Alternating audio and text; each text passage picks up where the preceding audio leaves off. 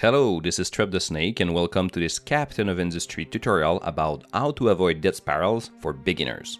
So this video will focus on the early game, which means that we'll cover pretty much every kind of death spirals that could happen to you uh, from the beginning up to the assembly 2, so the electric assemblies. We could say that there is four types of death spiral for the early game. The maintenance one, the food, the power, and the diesel. All these different major components of your colony that I've just named interact with each other. So, for example, if you have no maintenance, your vehicles and your buildings will break down, and therefore you won't be able to deliver the food from your farms to your settlement. And before you know it, you'll have a death spiral of food with your people starving. So, beside the obvious recommendation of making sure that you have enough of those maintenance, food, power, and diesel, I think it's important to go back to the start of the chain and understand the impact that all of these fundamental components, all of these fundamental ingredients, can have a crucial impact on the survival of your colony. Maintenance needs mechanical parts and electronics, food needs water and farm, power needs diesel, pretty simple in the early game, and the diesel itself requires crude oil and coal.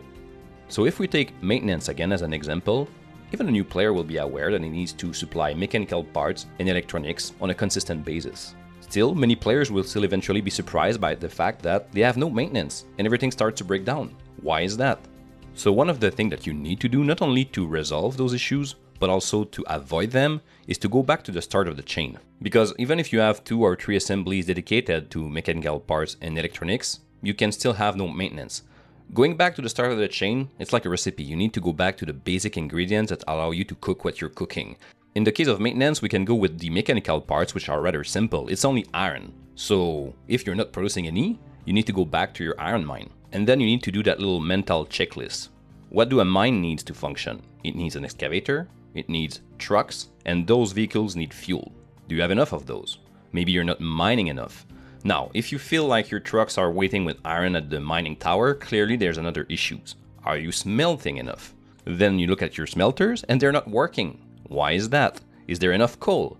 And then it leads you to the coal mining. So you can see that there's a lot of little steps to look at, but eventually this has to become a second nature, always going back to the start of the chain to diagnose the issues that you have or that you could have. It might seem like an obvious strategy, but I can tell you it's a common mistake, a common oversight by the players that won't go back to the start of the chain to diagnose these issues. They will be unaware that they're not mining enough, or either they're not smelting enough, or they don't have a logistic system that is efficient enough to deliver those ingredients, those materials to the assemblies that will in turn produce, for example, the mechanical parts.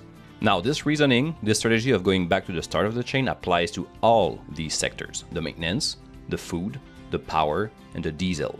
And I think that a common oversight is the coal. Coal is needed for many sectors as a side ingredient. Coal is not needed as the main ingredient like iron for iron bar, right? But it's needed to make the smelter work, it's needed to make the rubber factory producing, it's needed to make the diesel that will be used for the power. So always keep an eye on your coal mining, but also its distribution. As a side note for maintenance production, please take into consideration that it needs twice the mechanical parts than it needs electronics. Personally, 90% of the time I have a maintenance shortage, it's not the electronics that lacks, it's the mechanical parts. And it's interesting to know because electronics are way more complicated to produce. It requires purified copper and it required rubber. Meanwhile, the mechanical parts only require iron. So when I do have a maintenance shortage, it's because I didn't follow the step of going back to the start of the chain and realize that I didn't have enough iron or that I wasn't delivering enough. And there's also that possibility of my logistic system not being developed enough, not being efficient enough, therefore not being able to deliver those mechanical parts produced and waiting, sitting in the assemblies to the maintenance buildings. Beside that very fundamental strategy of going back to the start of the chain to diagnose issues and potential issues, one thing you can do is add storage. Seems simple enough, right? But it does act as a buffer, therefore giving you a bit of a breathing room when your production is not enough there's not one single best way to build a storage system. I think it's something that can be quite personal. Still, I think it's a common strategy to store the critical ingredients needed to make your colony work. So, electronic and mechanical parts for the maintenance, store some food, definitely, and you can also store some diesel, right? This is the bare minimum. After that, you can decide to have more storage like iron, coal, copper but you have to make sure that you have the logistics system to support that because the more storage, the more deliveries. And the more deliveries you need to do, the more trucks you need and eventually conveyors. All this pressure on the logistics system bring us to another very important concept, a problem met by many new players and even veteran players, I name overexpansion or overextension. This concept means that a player will build his base too quickly without supporting it with the key ingredients we've talked about.